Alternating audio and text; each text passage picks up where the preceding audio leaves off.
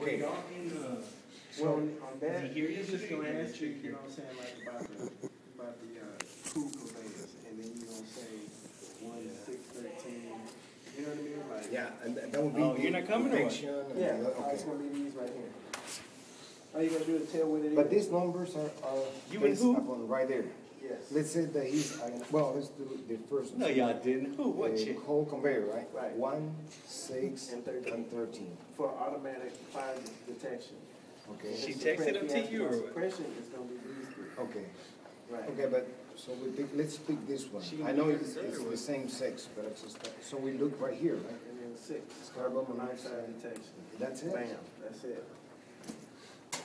I thought it was something else. That's it. because right here, um, last stage, okay, what is, what kind of a heat Oh, detector? Yeah, that's, that's the other one, number six. It's, uh, what, what is it, coal, coal conveyor, right? Where? No, Number right, six? You right here. pass him, fella. Coal conveyor. It's a year. Oh, no, no, I, I know what I'm talking about. It's a year It's pass. the Ain't nobody number right pass here. it. We, it's number six, right? Yeah. Number six is right here. This is too Number funny. Six is carbon monoxide, right?